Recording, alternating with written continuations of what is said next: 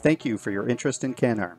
Today we will be looking at our P1170 CG motor label and explaining all the individual elements that appear on it. In this example, it will have terminal or post connections. This is a general overview, and as always, a qualified electrician should perform the hookup. Let's look at our P1170 CG motor label.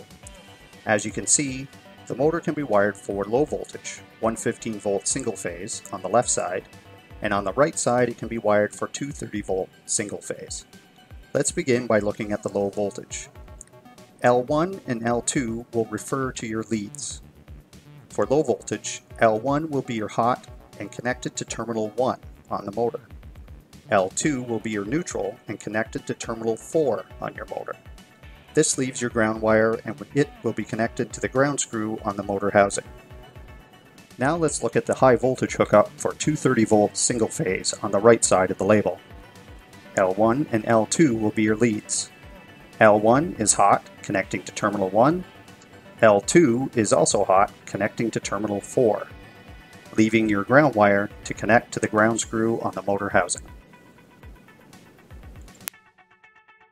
We hope you find this video informative. For other frequently asked questions, please visit our website at www.canarm.com slash HVAC. Also, be sure to check out our YouTube channel for more helpful how-to and product videos.